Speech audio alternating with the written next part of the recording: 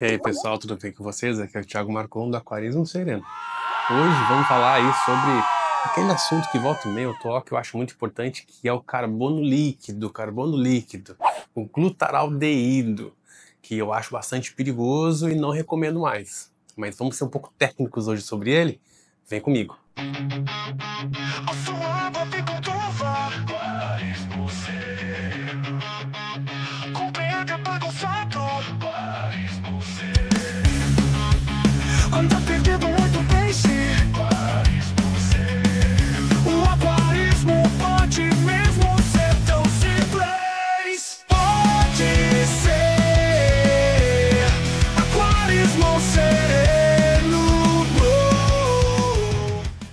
Vamos lá.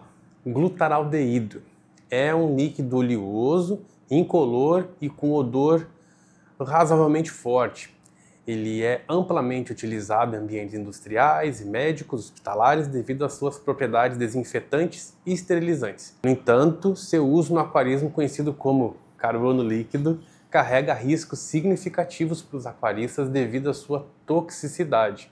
A exposição ao glutaraldeído pode ocorrer por inalação, provocando contato com a pele, quando a gente vai manusear, ou ingestão, provocando irritação nas vias respiratórias, pele e olhos. Além disso, apresenta riscos de toxicidade aguda, como dificuldades respiratórias, conjuntivite, dermatite de contato e a exposição prolongada ou repetida pode sensibilizar a pele e agravar problemas respiratórios. É coisa, hein? E embora estudos em animais tenham mostrado potenciais carcinogênicos, câncer, a classificação atual do glutarodeído pelos norte-americanos é de que não é provável que seja carcinogênico para humanos, nem por isso é seguro. Crianças e adultos são suscetíveis de maneira similar aos efeitos do glutaraldeído e não há evidências suficientes que apontem para riscos aumentados de malformações congênitas ou efeitos carcinogênicos específicos em crianças. Então, faz tanto mal no adulto quanto na criança, é o mesmo. E não que isso seja uma boa notícia, né? Mas não, pelo menos não cria um alarme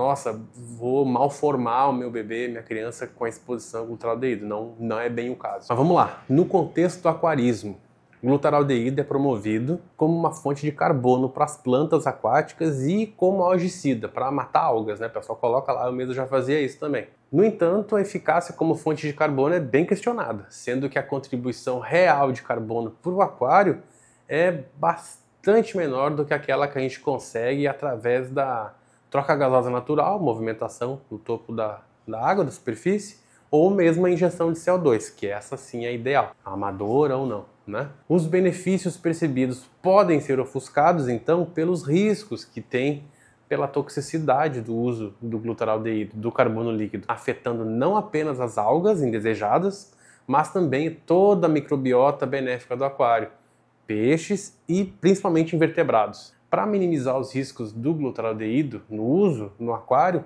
que, que se recomenda? Usar produtos comerciais específicos para aquarismo, seguindo sempre as instruções de dosagem. Muita gente erra na dose, embora não seja uma coisa boa, fica ainda pior com a superdose. Sempre manter áreas bem ventiladas onde está o aquário, sempre tentar individualizar o equipamento de cada aquário, evitar a exposição direta ao produto. Para combater algo, o melhor mesmo seria ajustar a iluminação, ajustar a ração, não exagerar, melhorar métodos de filtragem mecânico ou biológico. Seria muito melhor que o uso do glutaraldeído. Ele oferece em si algumas vantagens no manejo de aquários plantados para acabar com as algas, principalmente. Eu não acredito como nutrição, mas nossa, a gama de desvantagens dele para mim supera largamente as pequenas vantagens que ele pode oferecer. Eu pessoalmente não não recomendo mas estão aí algumas informações para vocês quebrando alguns mitos. Né? Eu achava que ele era carcinogênico, parece que não é, mas tem a questão das alergias e tudo mais, e, e problema,